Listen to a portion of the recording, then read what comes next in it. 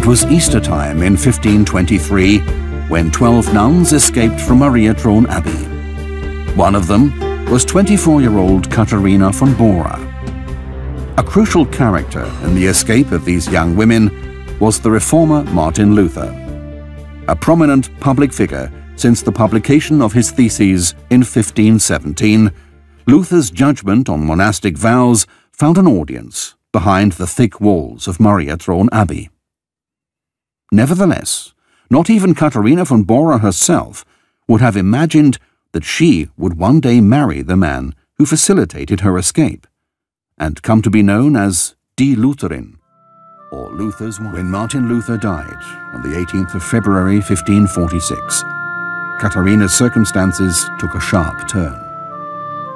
Her only existing personal testimonial to her sister-in-law offers a glimpse of her broken heart.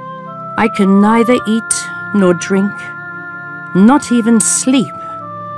And if I had a principality or an empire, I wouldn't feel so bad about losing it as I feel now, that our dear Lord God has taken this beloved and dear man from me, and not only from me, but from the whole world.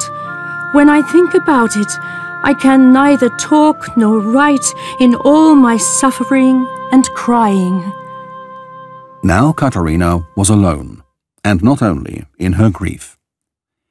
Even while she enjoyed the protection and acceptance of her husband, her independence of mind and self-confidence were often challenging for her contemporaries, and tolerated only because of Luther's leading role in the Reformation. Now that he was dead, there were some who were eager to settle old scores.